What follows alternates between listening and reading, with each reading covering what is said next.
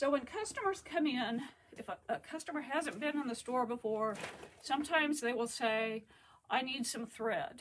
And, you know, we kind of point them in the direction of our thread area and it can be a little bit confusing over here. So never hesitate to ask questions, but I'm going to try to go over just some basic concepts here about the types of thread that we carry. First of all, this display is our new display of Mettler Metrosene.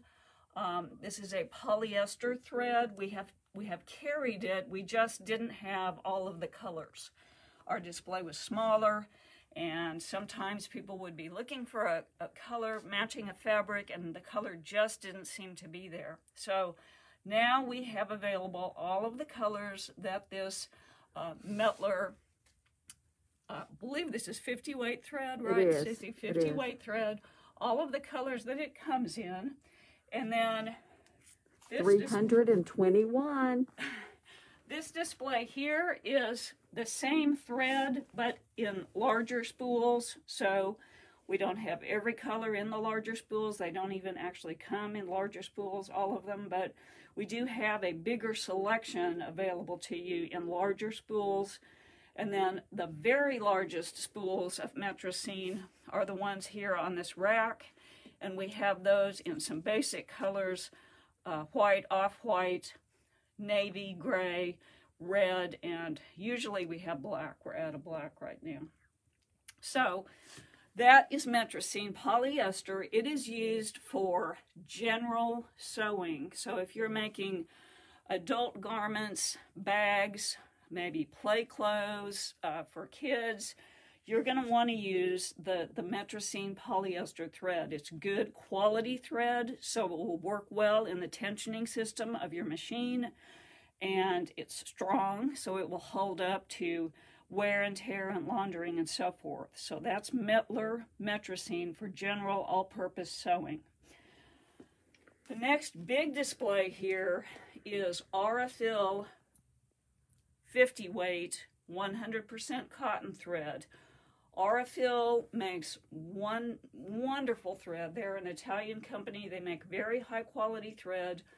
Cotton thread is always going to make more lint than polyester thread, but Aurifil is about as minimal as you can get when it comes to creating lint. So this is Aurifil 50 weight, which is wonderful for piecing and quilting. Um, and it comes in a, a nice variety of colors. We also have available these large spools here of Aurifil in neutral shades. When you are piecing a quilt, you're typically using a variety of colors of fabrics, and so ideally you want to just pick a color that's a neutral that will blend nicely with all of the fabric colors that you're using. Because Aurifil 50 weight is a fine thread, it melds into your fabric and your stitching is it becomes minimally visible. So choose a neutral color and you can use it for all of your piecing. And as I said, it can also be used for machine quilting. I'm going to ask Stacy to turn around because we do have one more Aurifil display here. This is Aurifil 80 weight thread. When it comes to thread, the higher the number, the finer the thread. So 80 weight is significantly finer than the Aurifil 50 weight. This is used for a variety of purposes, including hand applique. It's wonderful for needle turn applique, um, but it can also be used for a lot of other uh, pro uh, projects and uses, in, including English paper piecing. So I would recommend to you that um, you might want to visit the Aurifil website. There is a product guide on their website. I'm going to try to post a link to it actually after we get finished with this video, but it's a nice product guide. You may have one if you came to our Aurifil uh, ambassador event that we had back in 2019, but it's a very nice guide. It, it tells you a lot about how to use each of the types of thread that Aurifil makes, and, um, and it's very, very helpful. So That's Aurifil 80 weight.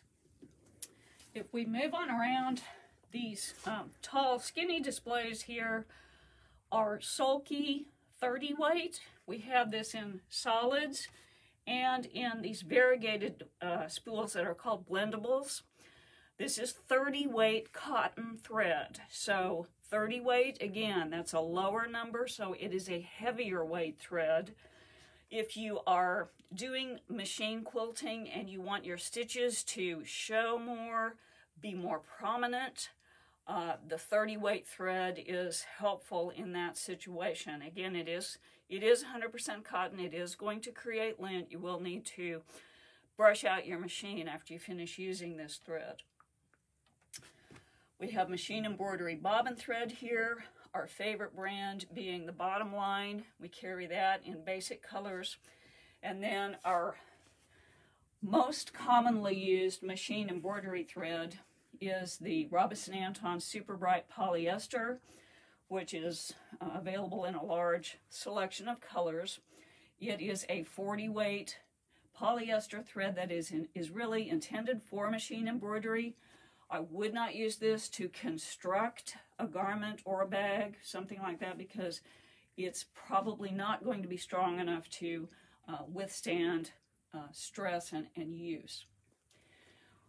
We have Gutermann hand quilting thread. This is a waxed thread that is used for hand quilting. It's also great for stitching your bindings down by hand.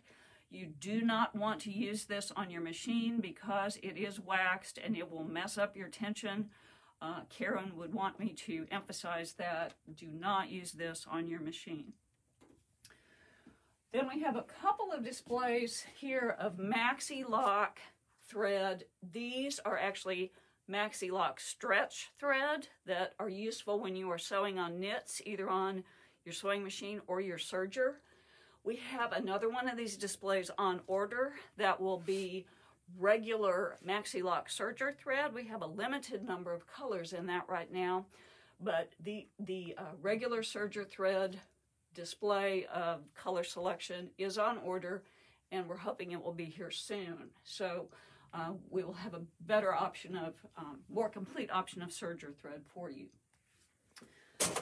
This is Signature Machine Quilting Thread. It is a 40 weight cotton thread that is often used by long arm quilters and it is available in this selection of colors including some variegated shades.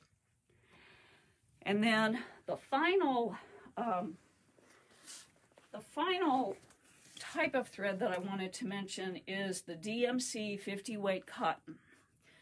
This can be used for machine embroidery if you're doing a design where you don't want the shiny look of polyester, you want a more heirloom or vintage type look. Uh, this is actually, if you look at the spool, it actually says machine embroidery thread on the end of the spool.